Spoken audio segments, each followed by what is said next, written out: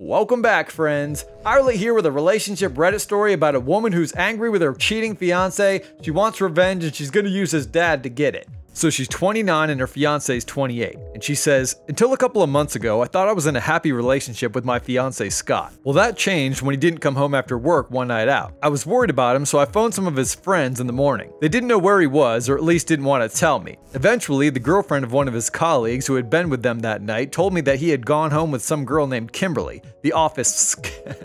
The office skank, who Scott had previously told me was notorious for having slept with half the guys in the company. I was stunned and refused to believe it. When he eventually came home, I asked where he'd been, and he told me that he slept at his friend Josh's place. I told him I called Josh, who said he hadn't seen him. Then I said, So did you have fun effing Kimberly? And I started bawling. He panicked and stumbled for an excuse. Get out, I screamed, and then I threw the first thing I could at him. In the following few days, I cried more than I care to admit, and in my weaker moments, I thought about giving him another chance, then my thoughts turned to revenge. I wanted to make him feel the way he made me feel, and I wondered hypothetically who would be the worst person I could get with to get back at him. He didn't have a brother, and his friends were all jerks, so I thought, well, what about his dad? no way is she about to get with a dad. And if she does, what kind of a dad is this? But anyway, she says, it was a ridiculous idea that made me laugh for the first few days. Scott's mom, Debbie, who's 51, is a wench anyway. Ever since we first started dating, I was never good enough for her only son. She'd always make snide comments about me or try to put me down, and Scott would invariably take his mother's side in any disputes. It was the thought of Debbie coming home and finding me with her husband that really started to get me thinking. Her staring at me with that trademark look of disapproval on her face gave me the giggles. I've never really been into older men, but I found the idea intriguing. I'd always liked Jeff, he's 53 years old, and he was the opposite of his wife, just a chill guy who'd always been good to me. He's about 6 feet tall and has salt and pepper hair. He worked his whole career in construction, so he's in decent shape for his age, but isn't somebody I'd ever thought about in that way. Would he say the same about me? I was pretty sure I'd caught him checking me out in the past. Pretty sure I wonder if he was really checking her out or if she's one of these narcissistic chicks who just thinks every guy who looks her way is into her. I guess we'll find out in a minute. So she continues, The more I thought about Jeff, the less ludicrous the idea seemed. I asked myself hypothetically, could I really ever see myself getting with him? And to my surprise, the answer with how eager I was for some bedroom action made me feel like yes, I definitely could, and was quite likely to do so. I'd love to see what him and his wench of a mother think about that. The idea got me pretty excited down there, but I knew it was just a fantasy that I'd never actually go through with. Although I did do some solo stuff while imagining how the scenario would play out.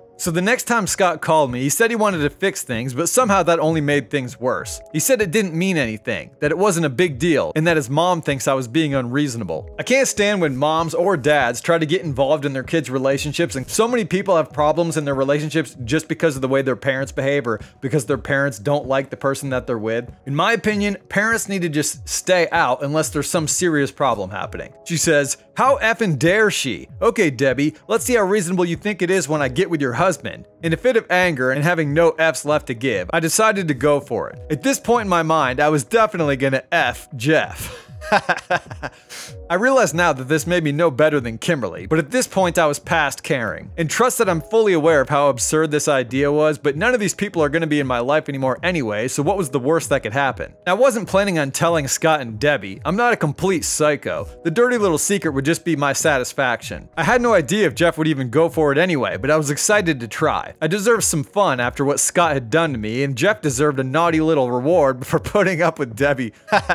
for putting up with Debbie for 30 years. So I intended to give him one. Every Tuesday, Debbie attends meetings of a committee that she's on, some group of local Karens that like to involve themselves in other people's business. Every week she'd be out for a couple of hours and Jeff would be home alone. This would be my window of opportunity. I waited in my car for 15 minutes after Debbie left, trying to work up the courage to ring the doorbell. I'd never done anything like this in my life before, especially not with a married man twice my age who until a week ago was going to be my father-in-law. I'm not a very confident woman in that way, and I'd only been with two other guys before Scott. Every time I lost my nerve, I thought about how angry Scott had made me and the constant disapproval from Debbie, but it was the taboo of leading Jeff astray that gave me the courage to get out of the car. I was physically excited in a way that I hadn't ever been before, trembling with nerves, but also incredibly eager downstairs. It was cold and I was underdressed, so I quickly skipped up the driveway. I hesitated for a moment and then rang the doorbell. I'm only 5 foot 6 normally, but my heels had me another 3 inches. I was wearing a split thigh blue dress that showed a lot of skin. I'd had my hair done earlier that day, my makeup looked good, and everything down there was freshly shaven. And this, fellas, is why you never mess with a girl's head the way this Scott guy did, because they're always gonna seek revenge and try to live it out in the worst way possible. But she continues. Eventually, the door opened. Jeffrey was surprised to see me standing there open mouthed for a moment. If he wondered why I was dressed the way I was, he didn't say anything. I brought back some of Scott's things, I said, shivering as I handed him the bag. I thought you could pass them on to him. I don't want to see him.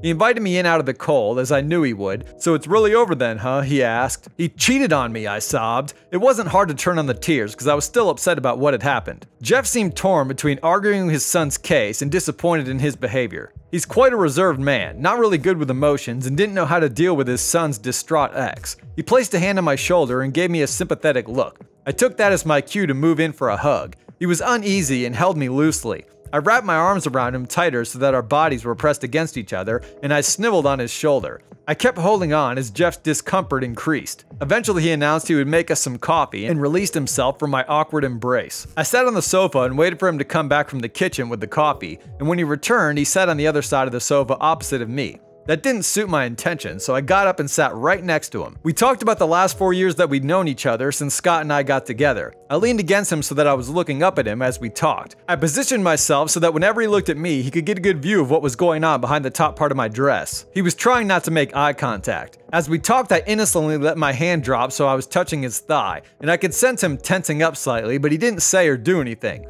After a little while, I moved it slightly higher. It was subtle, and he must have thought he was imagining it. I told him how much I appreciated him and that I was sad we weren't going to see each other anymore. And then I made my move. He froze for a minute as he tried to figure out what was happening. I clearly wasn't being direct enough, so I started to get more aggressive, and then I could tell he was getting excited. Flustered, he stood up and apologized, although he hadn't done anything wrong. He told me he was flattered, but that he couldn't do this. He was a better man than his son. I felt bad for making him so uncomfortable, and I apologized, then left. I got back in my car and cringed with embarrassment at my pathetic attempt to do what I did. But I was also so unbelievably excited in that moment. It only lasted a few minutes, but I definitely knew he wanted me.